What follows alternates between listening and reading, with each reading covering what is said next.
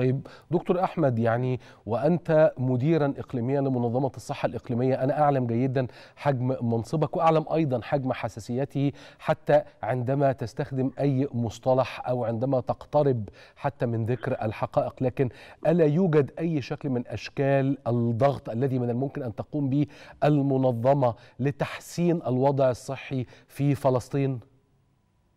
والله نحن يعني نتواصل مع الجهات المعنية في الأمم المتحدة وكذلك نقوم بنشر الكثير من التقارير التي تعتمد كما تفضلت على حقائق وبيانات يعني من من ارض الواقع ومن الميدان. يجمعها فريق متخصص يعني من منظمة الصحة العالمية وكذلك المنظمات الأخرى. ونقوم كذلك بالتواصل مع الداعمين والممولين لمختلف البرامج حتى نضمن فعلا استمرارية يعني العملية التي تقوم بها المنظمة. وتنفيذ مختلف البرامج، لكن لا أخفي عليك أستاذ يوسف هناك تحدي كبير.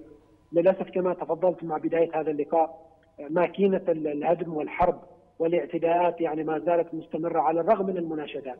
وهذه الماكينة يعني تستهدف الاماكن التي على على حسب قانون الإنسان القانون الانساني الدولي أماكن آمنة ومحمية بموجب هذا القانون. هناك ما يقارب من حوالي 300 و تقريبا و40 هجمة على مؤسسات النظام الصحي 160 تقريبا أو 170 تقريبا في قطاع غزة. أدت إلى خروج عدد كبير من هذه المؤسسات الصحية خارج الخدمة وإما يعني طبعا بسبب رئيس الاستهداف المباشر أو بسبب نقص الوقود أو بسبب استهداف المصادر المياه النظيفة. وكذلك المحطات أو محطات توليد الكهرباء يعني سواء بالوقود أو بالطاقة.